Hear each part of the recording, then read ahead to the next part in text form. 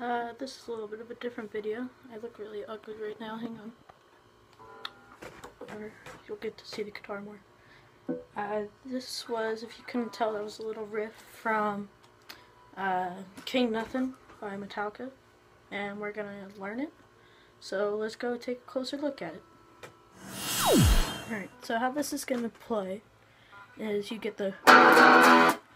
And so normally what you would do is you're going to take your first finger, your index finger, fifth string, fifth fret, and so you're only going to play the open E and the uh, A with the first finger on it, on the fifth fret, at the same time, so it's going, and then you're going to do the same thing, just you're going to move it up, but instead of doing, you're going to do, so you're going to take almost this finger and duplicate it with using your middle finger.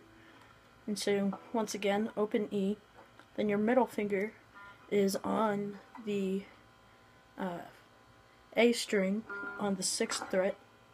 And you get, okay, so pretty simple so far. And then once again, you move up one more. And you're going to be putting your ring finger this time on the A string on the seventh fret and playing open E and that. And so you put it together. Okay, and then you're going to switch to, you're taking your third finger on the seventh fret on the A string, and then your first finger back on the fifth fret on the D string, so you get, and then you go back to the third finger on the seventh fret on the A, so you do and then you do that twice. And then you switch to a power chord starting on the first finger on the sixth fret on the E. I think. Hang on. Yeah. So you do first finger, sixth string or the E string on the sixth fret, and then your ring finger on the D string on the 8th fret. And so then you play the E string and then the D string. So you do, and then you go back to the E. Wait, no. No.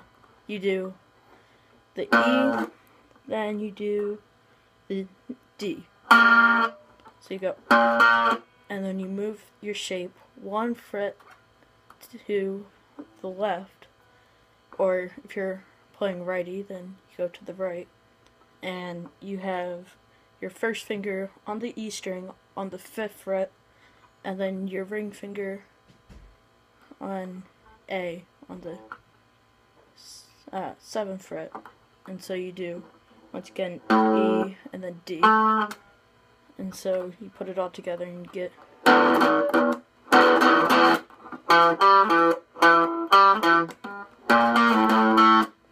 So really slowly it's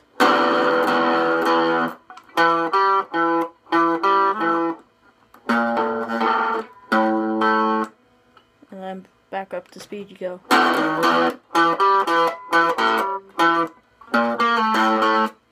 And so you're gonna want to do that a couple times until you get it down. And that's the riff. Um, right now, I currently have the Epiphone, Les Paul, uh, switch on treble. Uh, I've got the distortion on on my Fender Frontman 10G uh, with the gain is all the way up.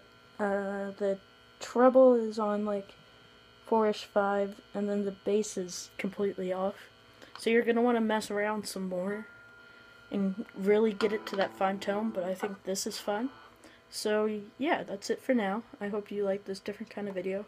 Make sure to rock on. uh, I'll see you all in the next one.